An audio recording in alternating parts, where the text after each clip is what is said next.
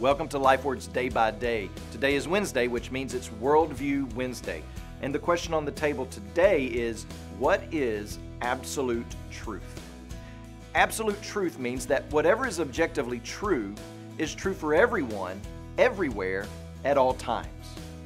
In Christianity, it claims that God reigns over all truth, that His Word reigns over all truth.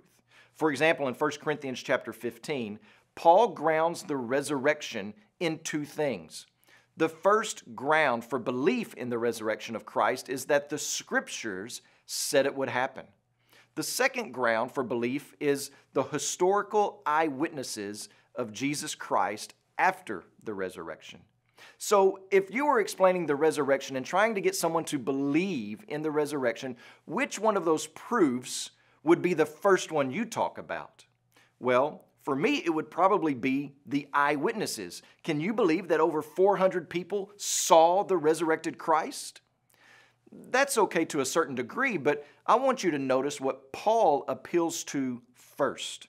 His first appeal is to Scripture as his basis of truth, of absolute truth. How does Christianity claim absolute truth? Well, traditional Christianity or Orthodox or classic Christianity claims that the Bible states that Jesus is the way, the truth, the life over all of life. That no one at any time, at any place can come to the Father but through Christ.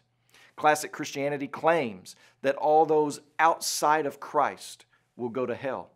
Classic Christianity proclaims a certain sexual ethic that is true for all people at all times, and all people everywhere from all time will be judged according to biblical truth because truth, by definition, is absolute, always true everywhere. Today, when you pray, please pray for Thomas Mobley and his family, our missionaries in Oklahoma. And also remember the Tagalog Lifeword broadcast that's heard in the Philippines.